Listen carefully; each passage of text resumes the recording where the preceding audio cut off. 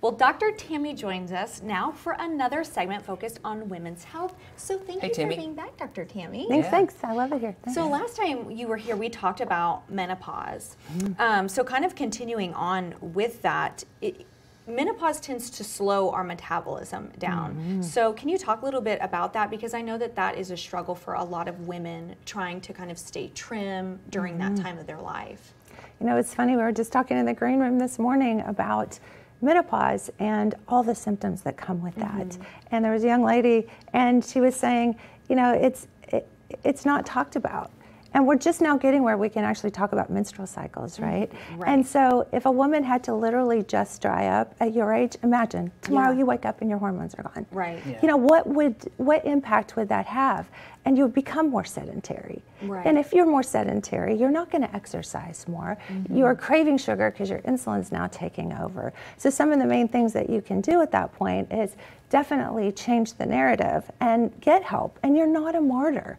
You know, it's funny because when we talk about hormones, I get a little passionate about this, but when we talk about hormones, you have to define what hormone you're talking about. Mm. Because you immediately went to estrogen when I said hormones, right?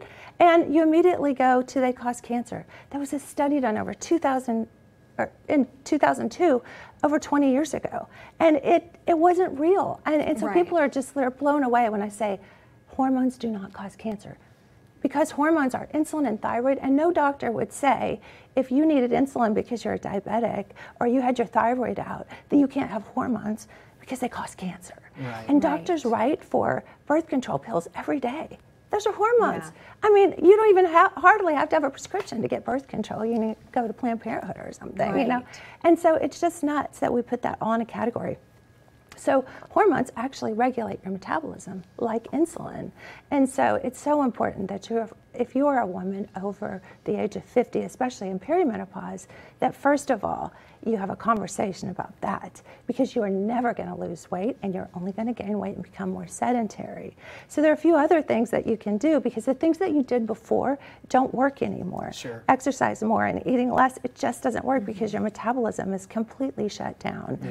But there are some things that you can do. And I say focus not on losing weight, but gaining muscle and getting stronger. Mm. Yeah, And you were so saying many ways. strength training is the key, right? Strength training for sure, and that doesn't have to be much. Just get some barbells or you know dumbbells, five, ten pounds, and you can use, work your larger muscle groups, and that goes a long way. Core strength. I have this little thing. It looks like a little pizza platter, and it has like the little ball on the bottom. Yeah. Now be careful. My disclaimer is like the first time you get on it, even if you're young, I mean Yeah. you got to get You one because you'll be like, oh my gosh, you're like Jello legs.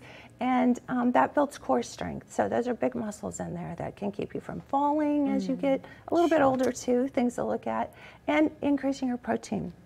So building muscle, and muscle will burn fat for you preferentially. So those are just real powerhouse tips. Yeah. But you know, the bottom line is, please, can we cha- change the narrative that there are lots of different hormones. There are actually several different estrogens. So if you want to get down to the crux mm. of estrogen, and that study was totally negated, and actually hormones after menopause and perimenopause. Perimenopausal women can take hormones too. Um, can actually prevent cancer, can prevent heart disease, and there's so many studies that support that. So go look it up. Don't take my word Right. for it. I mean, I'm not just some crazy lady up here, you know, some in the No, in check the it forest. out. There's your Hormone Bliss website right Yes, there. And you want to reach out to Tammy if you got any questions or to set up a consultation. I'm making it no, I, I'm making it affordable and accessible. You can literally get a kit at home for less than $250. Check your hormones, find out, do your research. I have lots of resources on there, and I'm so excited. It launches today. Okay. Hormonebliss.com. That's the place. Check it out, and there's lots of information too. Yeah. Thank So you. excited. Thank you so much. Thanks, for being Tammy. Mm-hmm. Yeah.